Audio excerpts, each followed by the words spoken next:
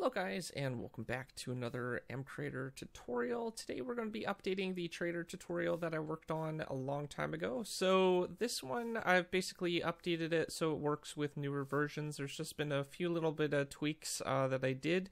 Um, I added support for dynamic uh, count sizes so I can in the tutorial it, like the procedures and stuff it now uh, basically shows uh, how to make the trades dynamic. If we right click on him, you can see these ones are static. They're at a specific number, a certain range, and then we can see that last one is basically a dynamic range where it can range anywhere between um, one item to 64 items. So that's dynamic, and there's a few other things you might notice. You can't actually pull out the um, item from the stack. So it's actually displaying as the items in the thing, but you can't take it. Like I'm clicking on it, it won't pick it up. So I've added actually three slots for those trades. So again, all these are non-clickable uh, uh, trade slots. But if we grab uh, some emeralds, so we'll grab some of these, and then we'll place some in here, and now we can basically take them but we can't take the extra ones so we'll do that for each one of these. So as you can see we can take that. We'll go to the other one. We'll grab this one. And again we can't pull out the rest. So these ones the buttons basically allow you to cycle between pages. Very straightforward stuff.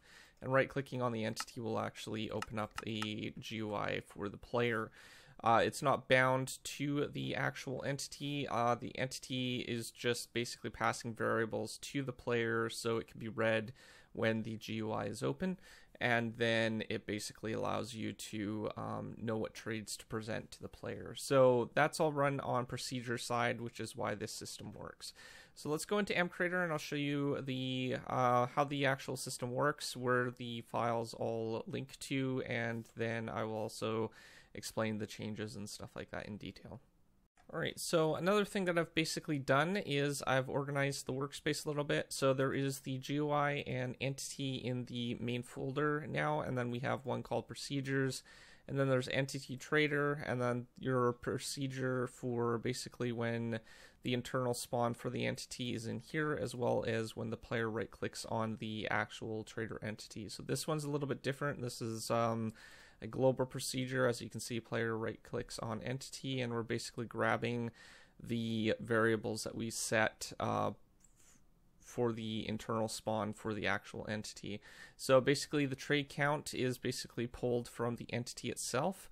So because this is a support source entity, we can actually get the NBT variables from the entity that we're right clicking on, which are these ones right here and then we're basically passing them on to these variables for the player, which are NBT for the player. So we're also doing that for the trade item, and as you can see, these are all the trade items for the uh, trader entity, and these are being applied to the player. And then what we're doing is we're basically setting the trader page so it is on page one. And after, what we're doing is we're making sure that the um, GUI that we want to open is open. So we're just basically running it for the source entity, and then we're going to open up the GUI. Uh, the other thing that we're doing within this condition, uh, this procedure, is we're testing if the entity itself, which is the event slash target entity, is the lumberjack. So we're not running it for every entity that we're right clicking on. That's the only thing that we're basically doing in this particular procedure. So the internal spawn, again, for the entity happens to do with the um, when the entity first spawns in the world, it's basically going to run this script. So no matter if it's spawned in by egg or if it's spawned in uh, through natural generation where it will spawn naturally, uh, this procedure is going to basically run. Now this holds the trades which is bound to the entity. Now again, like I said before, it will basically have, the entities will have a set amount of uh, variables that will be passed over to the player and then it will be read by the GUI. So this is basically how the procedures are basically set, uh, setting the thing. Now you can basically set whatever trades you want. Uh, if you're if you don't want them random, then you can basically just set um, these like that and remove the random parts, and then you can basically um, just run it as a normal uh, item. So because there's only trade items for, I think we're doing it for each one.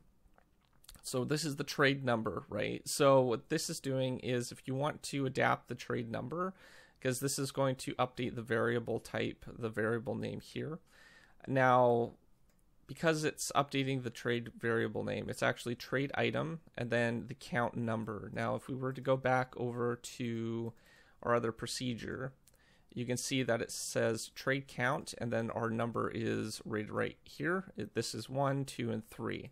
Now the repeater is running three times, so it's going to basically determine the count of the um, trade for each one of these. Now the the difference with that is if you want it to be very specific, then what you want to do is you want to just remove that, and then you want to just remove this and add trade one and then trade two and trade three and then assign the number that you want there. But because we're not doing that, what I'm going to do is just basically have it uh, set up the way that it was. So I'm just going to delete these ones because I'm not sure how that was all set up. It was from an older tutorial, so I'm not sure. But uh, we're just going to leave it like that, and that should be fine. And what it's doing is it's basically assigning a number for the item. Now there's six different types of um, logs and planks that we're basically generating as well as saplings. So this is how we're basically generating the type that we're going to be generating. I think one is for oak, two is for spruce, birch, um, what was the other one? Jungle, acacia, and dark oak. So depending on the number, it's basically going to uh, assign a certain type of log, uh, sapling, and a certain type of planks for that. Now the other script down here, this part right here from this um, uh, is not running on server side. It's uh, doing another random number. This is basically saying, hey, we need another random number. Let's get it. And then what it's going to do is it's going to actually determine the random number. And then inside that, we're going to basically assign a different uh, value for the um, trades. Now, again, this is running for each particular item. So what we're doing here is it's going to have a chance of uh, from I think 50% chance to have a static number from 2 and 4 uh, for the count, and then the other two ones here are uh, random. Uh, it's another 50% for it to be a random number. So this is where this part comes in. I've taken this value right here and I've rounded it up. And the reason why we're rounding it up is because if it is um, lower than a um, lower than like 0.1 or whatever, it's going to automatically round down. And this could actually give zero items. So you don't want that. So you want to round up. And if it is a lower number than 0. Point something or other, where it would round down, it's going to basically say, okay, let's round up to 1 instead of 0. So that's why we're rounding up. And then what we're doing is we're basically going to get the random amount. We have already set the random amount to a random number. And then we're going to multiply that by 64. Now, what, multiplying that by 64, it basically says, okay, this random number between 0 and uh, 1 can be a random number and then we're going to be basically multiplying that by 64. So if it was something like 0.5 then that would be something like 32 if anything. So it'd be somewhere around 32 if we're multiplying it by 64. So that's basically how that works. Um, it's basically just going to take the random number, multiply it by 64, and then you're going to get a random number between 1 and 64 and then we're doing it again for the other uh, one which is equal to or greater than zero. Now you might notice that we're starting with the higher number 4%. It's testing if it's uh, the random number is equal to or equal to or greater than 0.75. Now this is basically saying, okay, is it equal to or greater than 75? If true, run this one. If it's equal to or greater than 0.5, then it's running this one. Now the reason why I'm actually decreasing the um, the number for the thing is rather than having to test for if it is um, two conditions, if it's equal to or less than, you can actually just test if it's um, a certain range above and then work your way down because you've already tested for this one uh, between 0.75 and 1. So you know that it's not in this particular order because we're using if else statements. So the next one would be basically already testing if it's equal to or um, greater than uh, 0.5 to 0.75, even though that we're testing um, for higher than that, we've already know that it won't run higher than that. So it's somewhere between 0.5 and 0.75. And then we're just doing that for each one. So that's all that's going on here. And then lastly, what we're doing is we're basically just uh, creating the trade number and we're increasing that value by one, which it repeats three times. And then we've basically getting the trade number right here, or pardon me, right here. So that's basically what we're doing in that procedure. Hopefully that makes sense on how it works. It's basically just basically assigning the um, variables to the entity so it can be brought in by the procedures later on. All right, so let's go over to the other ones. Now, I'm covering all these different procedures first so we can actually go into the entity and I'll cover how the uh, to set it up in the uh, GUI and in the entity itself. So let's cover the buttons. They're pretty straightforward. What we're doing is we're going to, this is the uh, next button. So we're already testing if it's on page one. Uh, again, this is it for the player side. So we want to test if it's on page one. If it's equal to one, then we want to set it to two. If it's equal to two, then we want to set it to three because it's counting up towards the pages. Now we only have three pages for trades. If you want more, then you have to increase the number and keep this pattern going. Uh, for the other one, which is our previous page, what we're doing is we're testing if it's page 3. If it is, then we're setting it to page 2. If it's page 2, then we're setting it to page 1.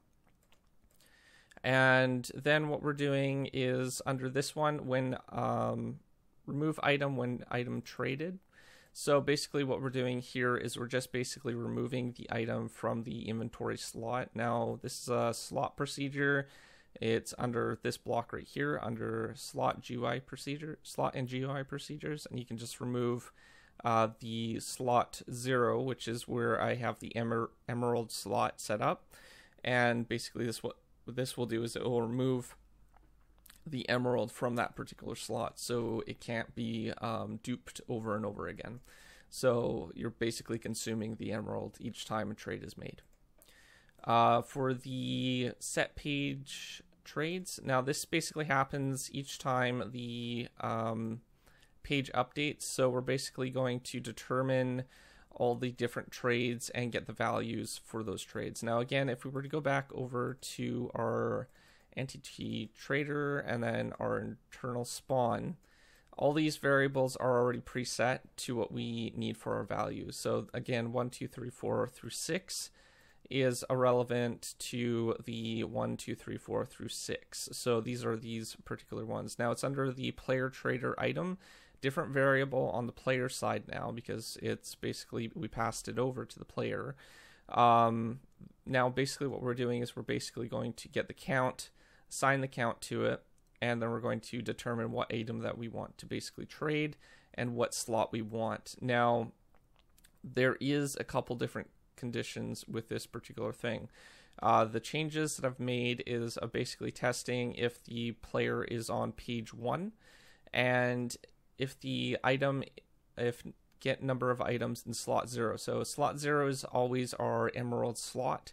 So we're basically testing if there's zero items in slot zero. If that's true, then what we're going to do is we're going to use, we're going to apply the um, same items as down in this part right here in slot two rather than slot one. We're actually clearing slot one, which is determined down here, so it doesn't allow people to pull out items through slot one. So again, if we're switching it over and there is an emerald in that particular slot, then what we're going to do is we're going to clear slot two, which is our slot where we can't pull things out of. And then we're going to basically assign the, the same items in slot one, which people can make a trade out of. And then we're doing that for the saplings as well. Again, the numbers vary depending on the type of items that we're determining. Uh, if you were to add a certain number, then you would want to um, like a static page, and you would just need to assign the thing to a specific page. I might do a separate tutorial in the future on static trades to kind of expand that because I get that quite a bit in requests for certain things, and I think it would be pretty handy to actually do a tutorial on. All right, and then we have our again our ones that they can trade, and then the ones that are just for display. And then our last trade cycle is our planks.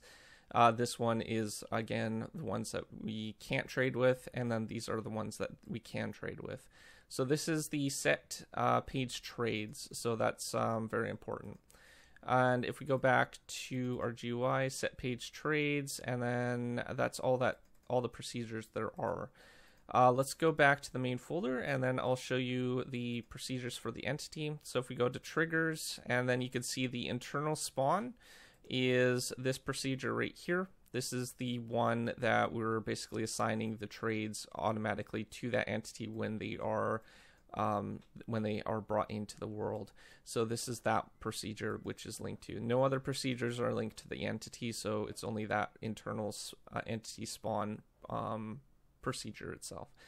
The other one is the buttons. The buttons are linked to the uh, on button right clicked, and then we're basically doing next, running the next um, button procedure, and the other one is for the previous button procedure. Uh, we have two, three slots actually. So slot zero is for our emeralds. We're limiting the stack to emeralds it's specifically. So we don't need to test for the items in the script. Now, if you wanted to test for the items in the script and have it dynamic, then you would have to kind of tweak the code a little bit. Um, we're also uh, saying drop items when GUI is not bound to an external entity. So this is very important. So the the emeralds don't get consumed when the inventory is closed without uh, the, the player taking the emeralds out of the inventory. So make sure that part's uh, checked. another thing you, you might notice is the when slot condition or contents change. We've basically set uh, page trades. So this is basically the procedure set page trades. That one that we um, covered. Uh, I'll just bring that up again. GUI set page trades. This is the one that's basically running here. So we want that one. All right, so the other thing that we're doing is in slot one, uh, we have when item taken from slot and when transferred slot through shift click. This is our slot for basically trading. So we want to basically uh, consume the item with that one. So this is where the consume script comes in. Um, I'll just close out of that and then we'll go back over here and we're going to remove the item from slot one or pardon me, slot zero. So this is basically consuming the emerald from slot zero. And then we have our slot two. I don't think there is any procedure in here, but we want to disable player interaction with this particular slot. And for the other one, uh, you notice that we're not dropping the items from the when they're when the GUI is closed. So it is going to just remove the items from existence it won't drop them onto the ground and give them back to the player naturally. If this hap- if this is checked, it's going to basically uh, uh, dupe items, and people will be able to get the items uh, infinite amount without making trades. So make sure these both are unchecked. Uh, for the slot two, you want to uncheck this one as well and then you want to check the disable player interaction. This basically prevents players from just grabbing the items without making a trade. So that's basically that's the important part. And um, yeah, that's basically all there is. Oh no, one last thing. The last thing that we're doing is when this GUI is open ticked, what we're doing is we're basically running this particular procedure again just to make sure that all the um, items and stuff are linked properly and the right trades are basically running as or set up as they're properly displaying. So basically what that will do is it'll basically every tick it's going to run that procedure to make sure that the trades are properly set up. So again, if you need to actually expand that, you just click on the uh, click to expand, and then you want to basically select your procedure in here. So that's all there is to it. Um, hopefully that is clear enough on how it works. Again, I will provide the workspace, the um, procedures, and the resources for the actual trade entity on GitHub so you guys can basically download the procedures and stuff and use it in your own script and mods and stuff like that. So hopefully you found today's tutorial useful. If you're new to my channel, don't forget to subscribe, comment down below, rate the video, and I will see you guys next time. Thanks for watching. Peace out.